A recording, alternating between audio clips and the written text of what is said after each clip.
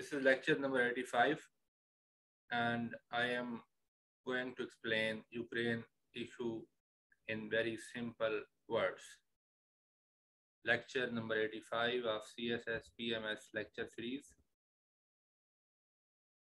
The significance of these lectures is that all these lectures are research based, relevant content is added, unnecessary content is uh, not made part of uh, these lectures and information is tailored according to the requirements of CSS and PMS examinations. Key facts are made part of these lectures and uh, more importantly, uh, these lectures are explained in very simple words.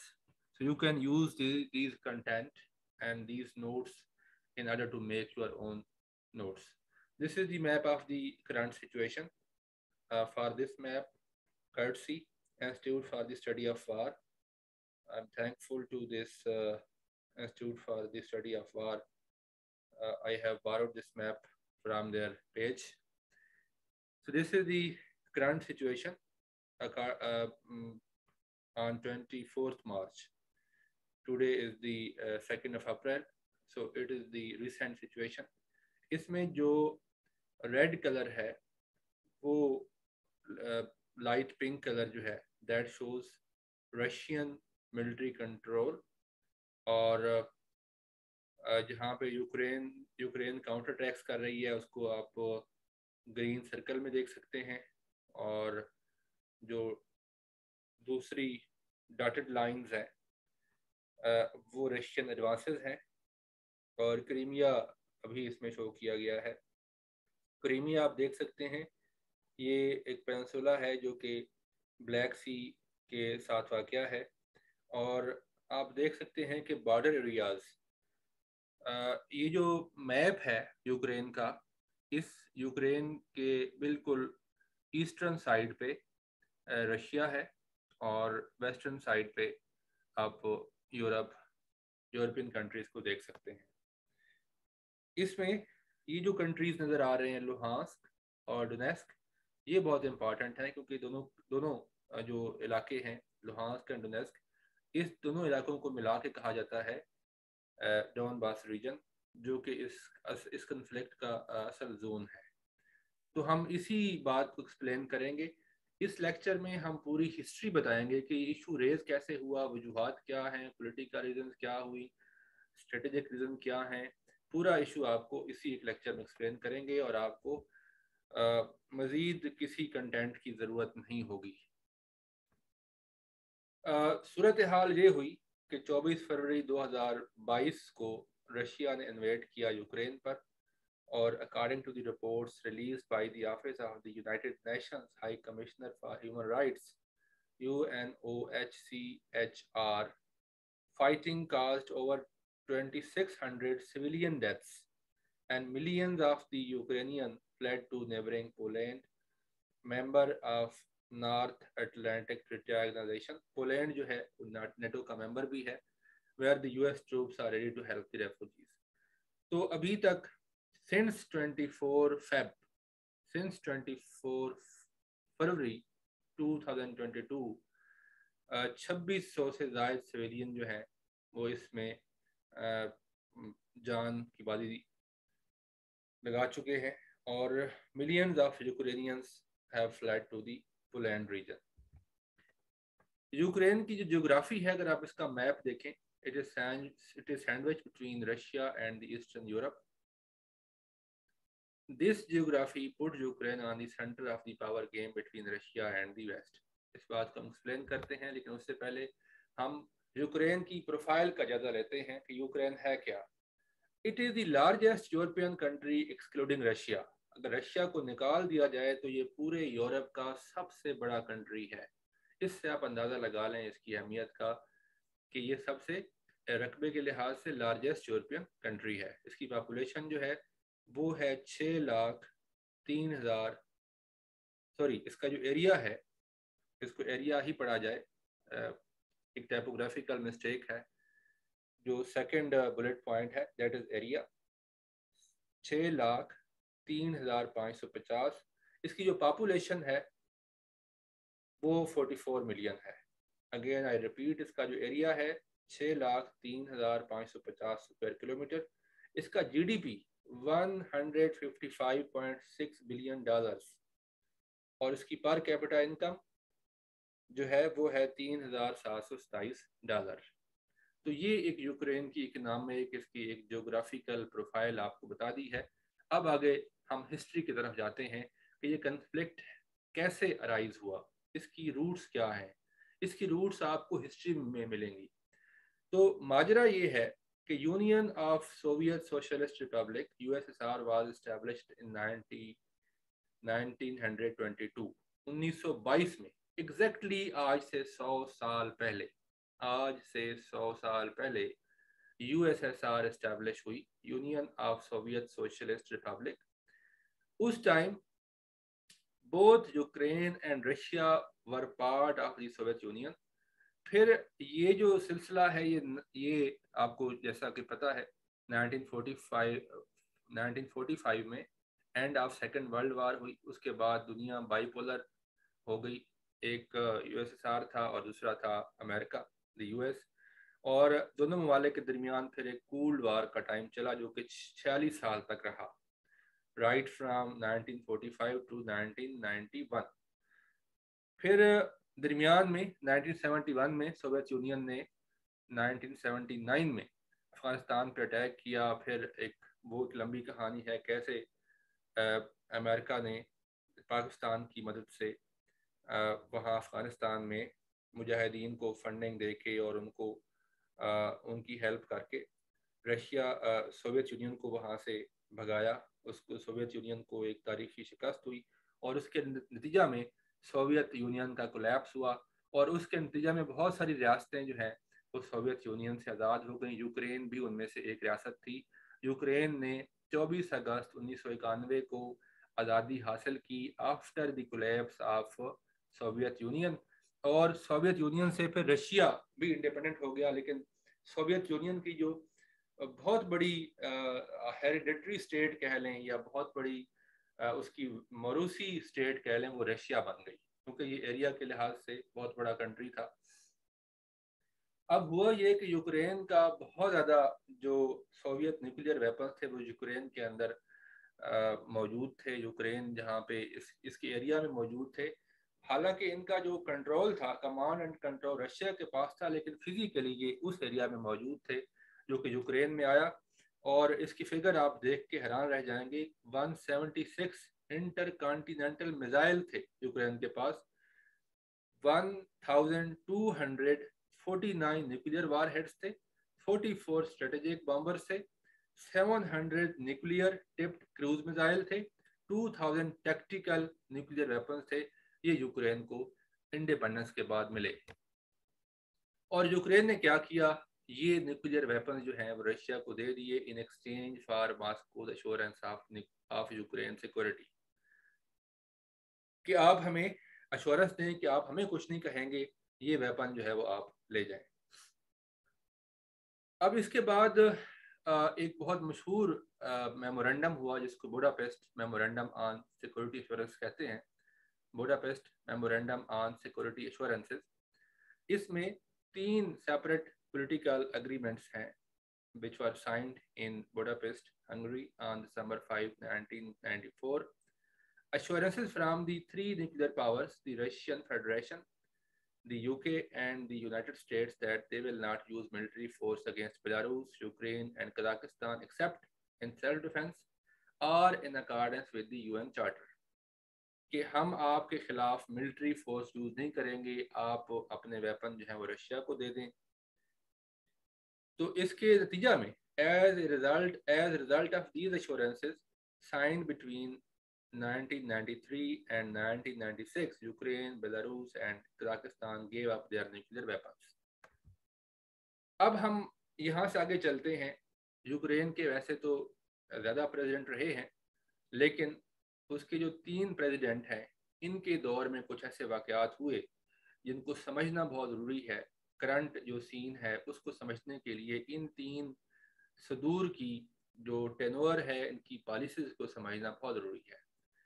Ukraine के जो third last president थे, वो थे Vladimir Zelensky जो कि sorry जो इसके third last president थे, वो थे विक्टर यनुकोविच जो कि 2010 से 2014 तक रहे।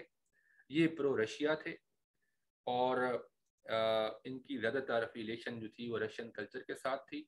फिर उसके बाद सेकेंड लास्ट थे पेट्रो पोरोशेंको ये 2014 से 2019 तक रहे प्रो यूरोपीय यूनियन थे। और जो अभी मौजूदा यूक्रेन के प्रेसिडेंट हैं व्लादिमीर जेलेंस्की ये 2019 से अभी तक यूक्रेन के प्रेसिडेंट हैं and he is pro European union अब यूक्रेन के अंदर पॉलिटिकल फिलासफीज या पॉलिटिकल आइडियोलॉजीज किस तरह की हैं, उनके ऊपर हम एक निगाह दौड़ाते हैं ताकि इशू आपको पूरी तरह समझ आए। यूक्रेन में तीन तरह की पॉलिटिकल आइडियोलॉजीज मौजूद हैं। तीन तरह की पॉलिटिकल आइडियालॉजीज हैं। पहली आइडियालॉजी है pro western pro NATO believing in the liberal democracy of the western country ये वो वेस्टर्न यूक्रेन का अंदर जो ज़्यादातर थर्ड प्रोसेस है या उनका जो पॉलिटिकल बिलीफ है वो ये है। कि हमें वेस्टर्न की तरह होना चाहिए। दूसरी जो पॉलिटिकल सोच है, वो है प्रो रशिया और ये जो लोग हैं, ये जो आइडियोलॉजी है, ये यूरोपीय यूनियन और नेटो को क्रिटिसाइज करती है एंटी यूएस है। और तीसरी जो आइडियोलॉजी है, वो है regional and local interest recently emerge in the on the political scene of Ukraine तो ये तीन तरह की आइडियोलॉजीज हैं। अब इन तीनों को देखा जाए तो इसमें जो मौजूदा प्रेसिडेंट हैं व्लादिमीर जेलेंस्की ये प्रो यूरोपियन यूनियन है प्रो नेटो है, और ये एंटी मास्को है एंटी रशिया है। इससे पहले वाले जो थे पेट्रो पोरोशेंको ये भी प्रो यूरोपीय यूनियन थे, लेकिन इससे पहले विक्टर यूनोकोविच जो थे, वो प्रो रशिया थे। अब हम आगे बात को बढ़ाते हैं। अब हुआ क्या? जो थर्ड लास्ट प्रेसिडेंट थे यूक्रेन के विक्टर यूनोकोविच जो कि 2010 में यूक्रेन के प्रेसिडेंट बने। शुरू शुरू में तो ये बहुत पॉपुलर थे। शुरू शुरू में ये बहुत पॉपुलर थे, लेकिन इनसे कुछ गलतियाँ हुई। कुछ ऐसे स्टेप इसने उठाए जिसको यूक्रेन और स्पेशली वेस्टर्न यूक्रेन की ज़्यादा लोगों ने उनको एक ब्लंडर ख्याल किया। मसलन इसने रशिया के साथ एक डील की, जिसके तहत इसने रशिया से ये कहा कि आप हमें लो कास्ट गैस दें। इसके बदले में हम आपकी जो रशियन नेवल बीस, बेस है क्रेमिया में, जो कि एक्सपायर हो रही है, उसको हम मज़ीद 25 साल बढ़ा देंगे। रशियन नेवल बेस की जो लीज थी क्रेमिया में, वो ख़त्म हो रही थी, उसको हम 25 साल मजीद इन्हेंस कर देंगे। आप उसके बदले में हमें लो कॉस्ट गैस दें। फिर इसने, इस बात को भी यूरोप, जो यूक्रेन की आवाम ने समझा कि आपने यूक्रेन को रशिया के सामने बेच दिया है। फिर इसने यूक्रेन के कॉन्स्टिट्यूशन के आर्टिकल ट्रिपल वन में आर्टिकल 111 में एक तब्दीली की और बेसिकली ये आर्टिकल प्रेसिडेंट की रिमूवल के मतलब है, लेकिन इसने इसमें अमेंडमेंट करके तासर दिया कि शायद ये एक डिक्टेटर रिजीम की तरफ़ जा रहे हैं। तो आवाम को ये तासर मिला कि ये डेमोक्रेसी से हट के डिक्टेटरशिप आ रही है और अमरीत का दौर यहाँ पे दोबारा वापस आ जाएगा और ये ऑफ़िस नहीं छोड़ेंगे। तो ये एक तासर मिला जो कि एक अनपॉपुलर डिसीज़न था। तीसरा, इनके ऊपर फिर करप्शन चार्जेस भी बने नेपोटिज्म के चार्जेस आए। बहरहाल, इस वजह से इनकी पॉपुलैरिटी जो है वो काफ़ी हद तक डैमेज हुई। इसने फिर क्या किया? इसने इस डैमेज कंट्रोल करने के लिए पॉपुलर डिसीज़न लिया। कि हम European Union association agreement sign करते हैं इन अर्ली 2013 इसने उसके बारे में बहुत ज़्यादा मीडिया पे हाइड हाइप क्रिएट की कि हम यूरोपियन यूनियन के पास जा रहे हैं ताकि अवाम का जो इनके ऊपर क्रिटिसिज्म है वो कम हो सके। लेकिन कहा जाता है कि फिर नवंबर 2013 में, नवंबर 21 2013 में ये जो एग्रीमेंट था, इसको, इसकी साइनिंग को जो है वो सस्पेंड कर दिया गया, मनसूख कर दिया गया। और कहा जाता है कि ये रशिया के इन्फ्लुएंस में आके ऐसा हुआ। इसकी वजह से बहुत ज़्यादा अनरेस्ट फैला। यूरोप, जो यूक्रेन के अंदर प्रोटेस्ट हुए रॉयट्स हो गए पुलिस ने गोलियाँ चलाई सिविल डिसोबीडियंस हो गई और इस, इसको, इस एक, इसने एक मूवमेंट की शक्ल इख्तियार कर ली, जिसको यूरो मेडन मूवमेंट भी यूरो मैदान मूवमेंट भी कहा जाता है। तो इसके बदले में फिर ये वहाँ से भाग गया। इसके हुकूमत वहाँ पे ख़त्म हो गई और he was remove from the office of presidency अब हम इन्हीं बातों को देखते हैं, इसी तनाजुर में जो ईयर वाइज देखते हैं वेक्टर यूनोकोविच इसने यूरोपीय यूनियन के साथ डील को मुस्तरद किया और इसके बदले में रशिया से बेल आउट ले लिया। इसके नतीजा में प्रोटेस्ट हुए और प्रोटेस्ट के नतीजा में वेक्टर यूनोकोविच की जो हुकूमत थी वो ख़त्म हो गई। ये जो प्रोटेस्ट थे जिसको यूरोमेडान मूवमेंट भी कहते हैं, ये प्रेसिडेंट के खिलाफ थे और यूरोपियन यूनियन की फेवर में थे। अब यहाँ पे रशिया भी दरमियान में आ गया। रशिया ने कहा, हम प्रेसिडेंट को सपोर्ट करेंगे। लेकिन वेस्ट ने क्या किया? अमेरिका ने और वेस्ट ने यहाँ पे सपोर्ट किया प्रोटेस्टर्स को और यहाँ पे रिजीम चेंज हुई। पॉलिटिकल चेंज है यूक्रेन में विक्टर इनोकोविच ने अपना अहदा छोड़ दिया। फ्लड कर गया यूक्रेन से। और इस तरीके से इनको इस हाफिज से जो है वो निकलना पड़ा। फरवरी 2014 में यनोकोविच की गवर्नमेंट ख़त्म हो गई ही फ्लैट टू रशिया और आ, लेकिन एक और बात हुई। जब यनोकोविच की हुकूमत ख़त्म हो गई तो अब मैं आपको बताता हूँ कि जो ईस्टर्न यूक्रेन है जिसको डॉनबास रीजन बोलते हैं वहाँ पे चूँकि रशियन स्पीकिंग लोग मौजूद हैं और उनके अंदर यनोकोविच की मकबूलियत कम नहीं थी। वो यनोकोविच को अपने से बहुत करीब ख्याल करते थे, क्योंकि ये भी प्रो रशिया है और रशिया चूँकि यनोकोविच को सपोर्ट कर रहा था, लिहाजा यहाँ पे यनोकोविच के हक में मुजहरे हुए और जो रजीम चेंज हुई, उसके खिलाफ मुजहरे शुरू हो गए। इन्होंने कहा कि हम इस बात को नहीं मानते कि आपने हमारे प्रेसिडेंट को यहाँ से निकाल दिया है और उसकी जगह पे प्रो यूरोपियन यूनियन प्रेसिडेंट लाके आ रहे हैं तो ये इलाका जो था, ये चूँकि कनेक्टेड था with Moscow with the Russia geographically भी और आइडियोलॉजिकली भी, लिहाजा इन लोगों ने इस जो रजीम चेंज को एक्सेप्ट नहीं किया और यहाँ पे प्रोटेस्ट शुरू हो गए। और रशिया भी इस पोलिटिकल चेंज से खुश नहीं था, साफ़ जहर है इसने इन्होंने सपोर्ट किया यूनोकोविच को। लिहाजा इसने यहाँ पे अनेक्स कर लिया क्रेमिया को। और इस तरीके से 2014 में क्रेमिया की अनेक्सेशन हुई। अब हम बात करते हैं कि क्रेमिया ही क्यों? क्रेमिया को क्यों रशिया ने नेक्स्ट किया? तो क्रीमिया की हिस्ट्री देख लेते हैं। Crimea is a peninsula located in the Black Sea 54 में यह हुआ था कि सोवियत लीडर निकिता क्रोशेव ने क्रीमिया को ट्रांसफ़र किया रशियन सोवियत सोशलिस्ट रिपब्लिक से। यूक्रेनियन सोवियत सोशलिस्ट रिपब्लिक को as a goodwill gesture and to brotherly and to establish brotherly ties between the two states of the USSR तो उस time तो खैर इसकी कोई ख़ास इतनी सिग्निफिकेंस नज़र नहीं आई, जब तक यूक्रेन इंडिपेंडेंट नहीं हो गया। यानी इस टाइम यूक्रेन के पास से क्रीमिया आ गया 54 में। अब क्या हुआ? जब 91 में 24 अगस्त 91 में यूक्रेन इंडिपेंडेंट हुआ तो क्रेमिया उसका पार्ट बन गया। This peninsula was given special autonomy and hosted many Russian military bases यहाँ पे बहुत सारी रशियन मिलिट्री बेसिस थी। At that time Russia promise to respect respect Crimea autonomy. After the political change in Ukraine in February 2014, February 2014, the Russian military seized the government buildings in Crimea and in this way Russia captured Crimea. फिर एक वाक्य होता है 16 मार्च 2014 को मार्च 16 2014 को क्या हुआ a referendum was held in Crimea and the Crimean voted to join Russia. Legitimacy of this referendum came under debate.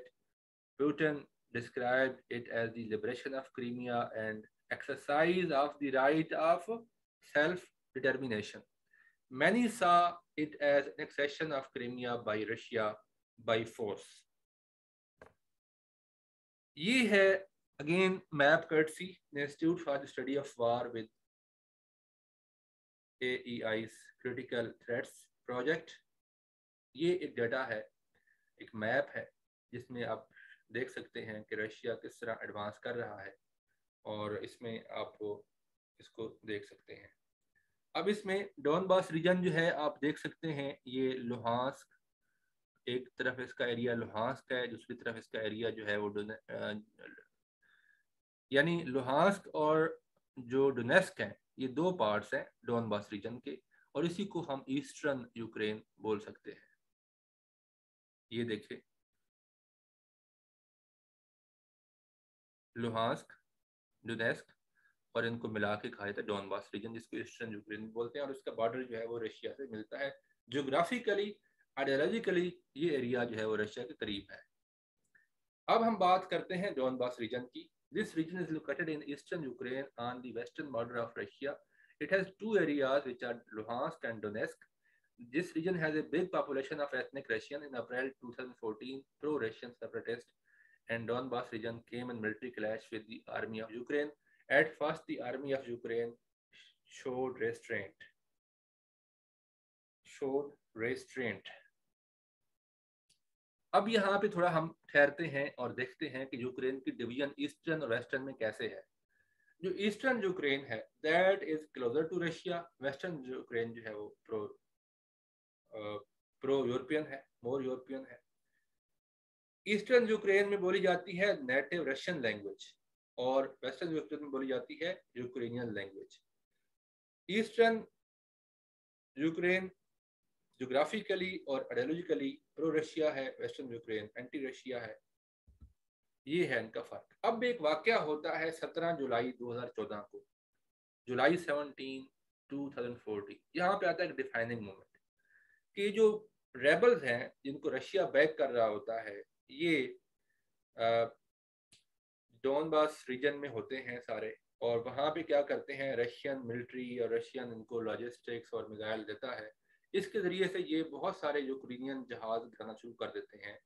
और यहाँ पे ये एक मलेशियन एयरलाइन फ़्लाइट को गिरा देते हैं, जिसमें दो सौ अठानवे पैसेंजर सवार होते हैं।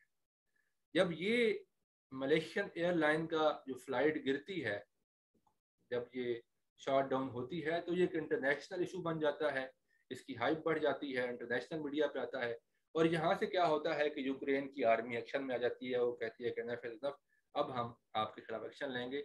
At this point Russian army भी आ जाती है इंटरवीन करती है to support the rebels The rebels took control of two areas from Luhansk and Donetsk and named them as the People Republic of Luhansk and the People Republic of Donetsk. ये आप इस map में देख सकते हैं। जिसमें ये dotted red lines हैं, ये वही एरिया है, आप इसको मजीद पीछे वाले मैप में भी देखेंगे तो ये आपको नज़र आ जाएगा। तो लुहांस और डोनेस के अक्सर एरियाज़ में और वो एरियाज़ जो रशिया के साथ कंटेगुअस हैं, वहाँ पे ये कब्जा कर लेते हैं।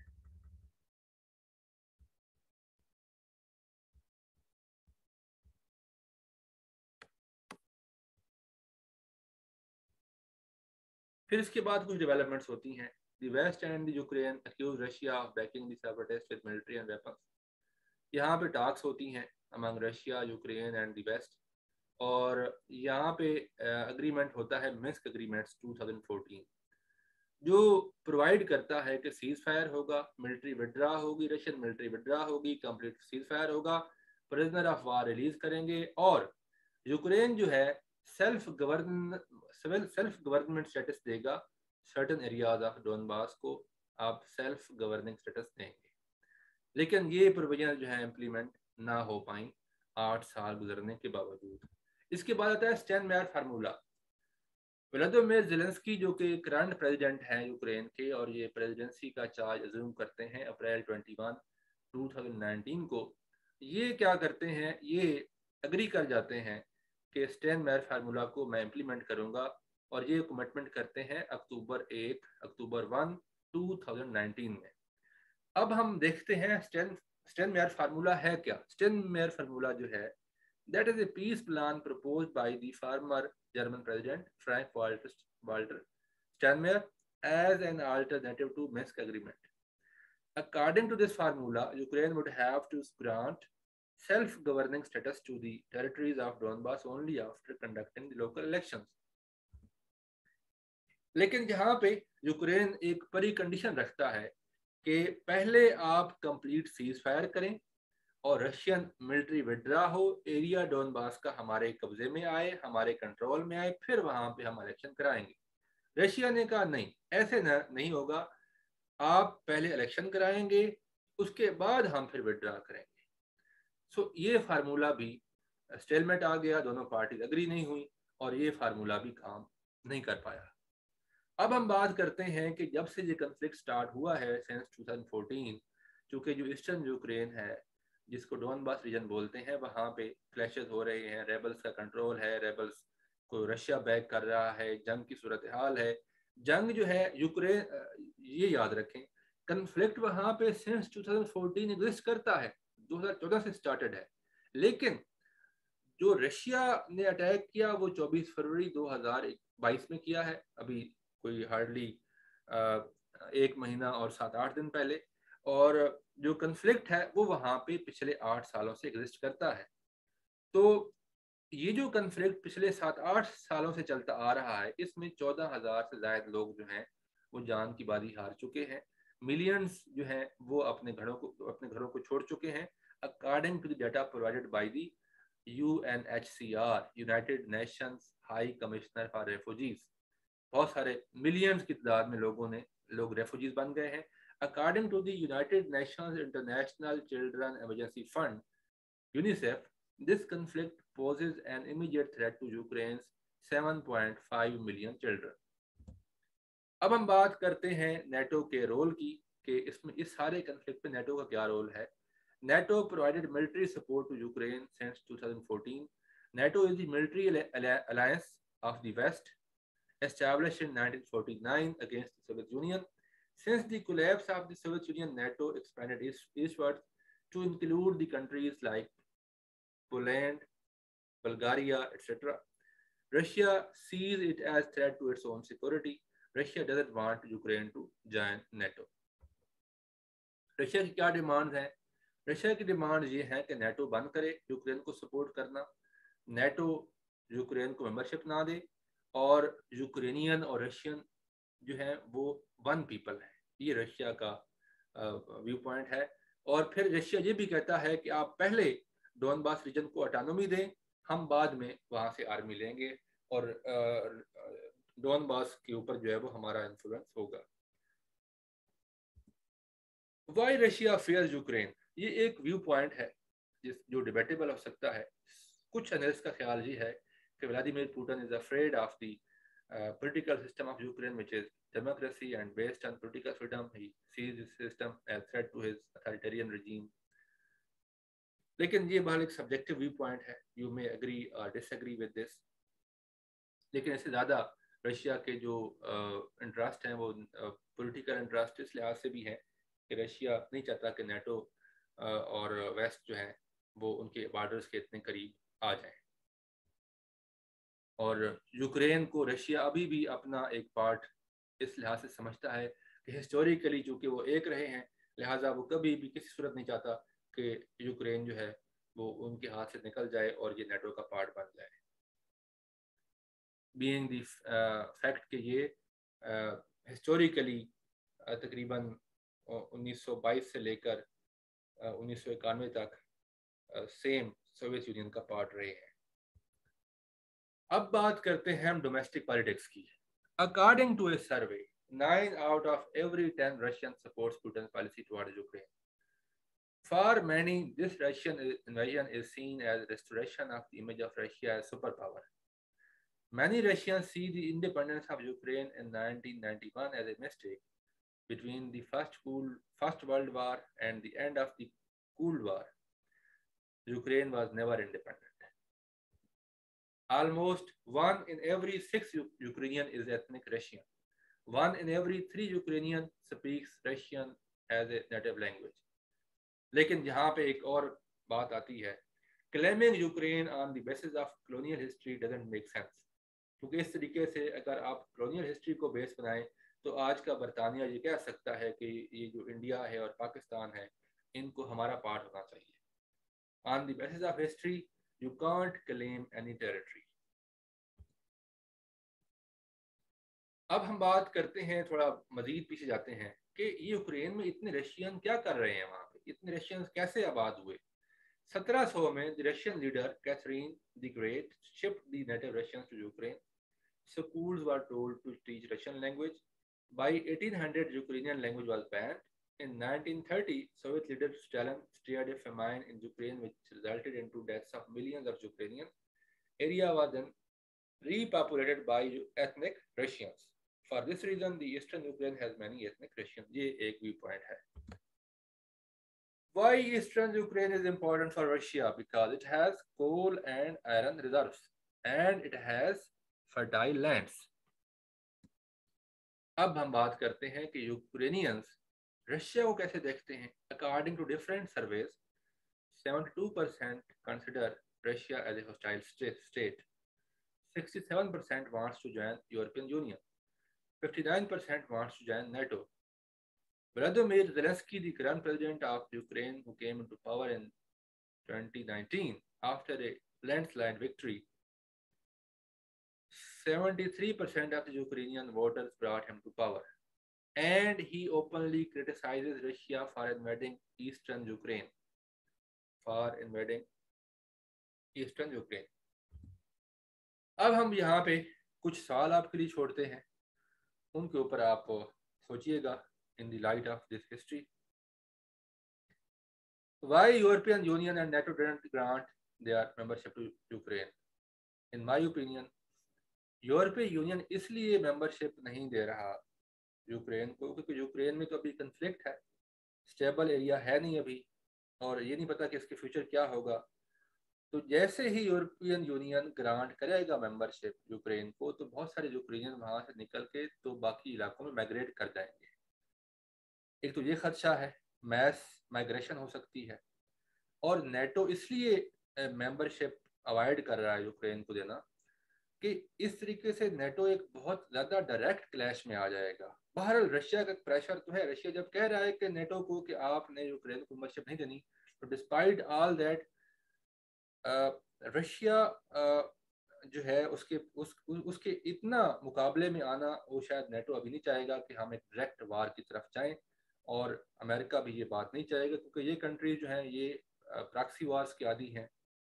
ये इनडायरेक्टली सपोर्ट करके आगे बढ़ते हैं। और स्पेशली जब मामला बड़ी ताकतों का हो तो वहाँ पे प्रॉक्सी वार हो जाती हैं। डायरेक्ट मिलिट्री क्लैश बड़ी ताकतों के दरमियान आम तौर पे नहीं होते अवॉइड कर कर दी जाते हैं।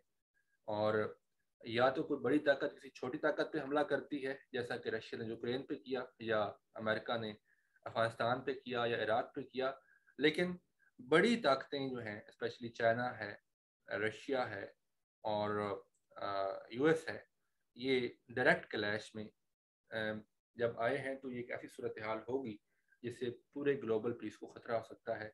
लिहाजा इसलिए नेटो ने अभी तक इसको मेंबरशिप नहीं दी है डिस्पाइट द फैक्ट कि Ukrainian Ukrainian wants NATO membership अभी तक इन्होंने नहीं दी है। अब वे फॉरवर्ड क्या है? आपने पूरी हिस्ट्री देखी। जितना भी बैकग्राउंड आपको पता होना चाहिए यूक्रेनियन इशू का या इशू ऑफ़ यूक्रेन का तो वो आपको मैंने बता दिया है। मेरे ख्याल में इसका वे फॉरवर्ड यही होगा कि डॉनबास रीजन को ऑटोनॉमी दी जाए। लेकिन इसकी जो निटिग्रिटीज हैं प्रोविज़न पे इख्तलाफ है, रशिया कहता है कि पहले आप ऑटोनॉमी दें, फिर हम फिर सीज फायर करेंगे, फिर हम अपनी फौज वापस लेंगे। यूक्रेन कहता है, नहीं, पहले आप सीज फायर करें, पहले आप अपनी फौज ले जाएँ, फिर हम इलेक्शन कराते हैं।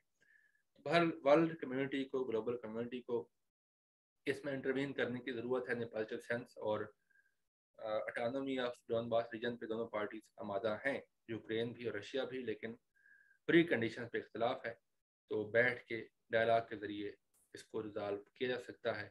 फ़िलहाल ये लड़ाई जारी है और इससे ख़तरा ये है कि ये कहीं स्केलेट ना हो जाए।